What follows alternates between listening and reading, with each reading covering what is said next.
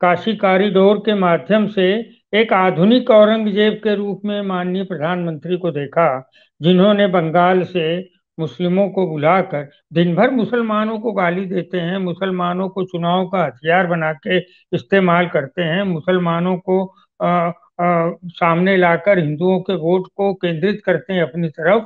लेकिन इन्होंने मुसलमानों से बुलवा कर हिंदुओं ये खुद खुद खुद आरोप लगाते हैं कि मुसलमानों ने बहुत सारे मंदिर तोड़ दिए हिंदुस्तान में मुगल काल से अब तक।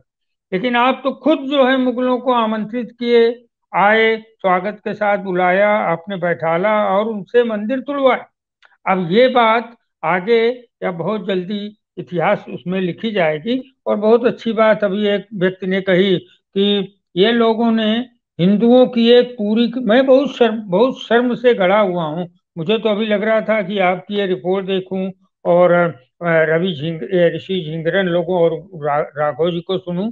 लेकिन ये इन्होंने हम लोग हम लोगों को ऐसा नीचा दिखा दिया है खुद हिंदुओं को।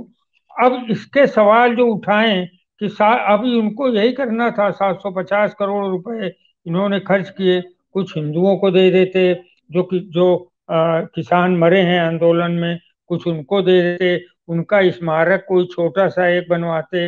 ये सब इन्होंने नहीं किया। ओम बिरला, अभी एक मित्र ने बोला, ममता जी, ओम बिरला की लड़की आईएएस बन गई।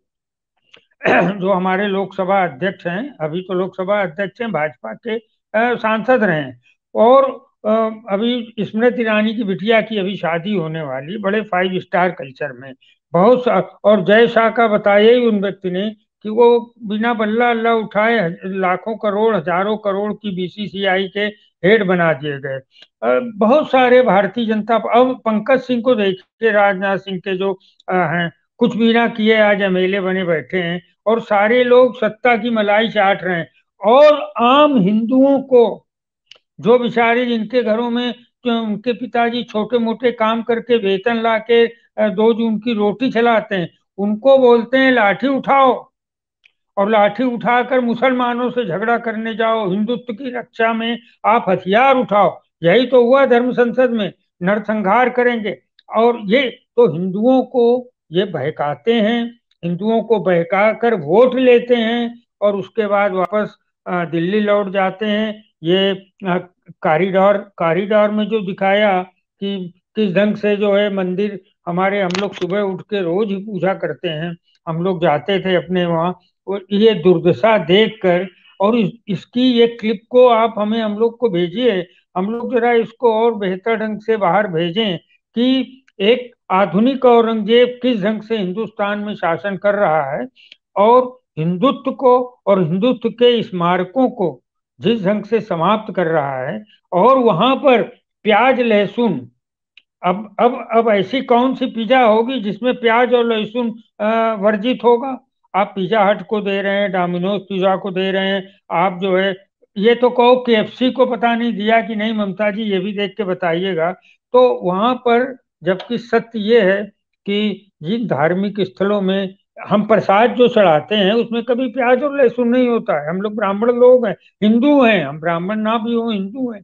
तो अब वहाँ पर प्याज, लहसुन के पिज्जा बिकेंगे, वहाँ पर तीन सौ या कितने, सत्तर, अस्सी रूम बन रहे हैं, सत्तर दुकानें बन रही हैं। ये आपने बताया, एक शर्मनाक बात बात है कि अब गंगा में नहाने का और हम अपने बुज़ुर्गों की अस्थियाँ प्रवाहित करने जाएँ, अगर गंगा में या उनकी श्राद्ध करने जाएँ गंगा में तो पहले मोदी जी को टैक्स दें, सौ रुपए, आठ सौ रुपया तीन सौ रुपया, हम गंगा नहाने जाएँ, उसके पहले नरेंद्र मोदी के ये जो पीएम केयर फंड है या कोई फंड उनका वो बना ले उसमें उनका रसीद कटाओ तो ये बड़ी शर्मनाक घटनाएँ इस देश में घट रही हैं।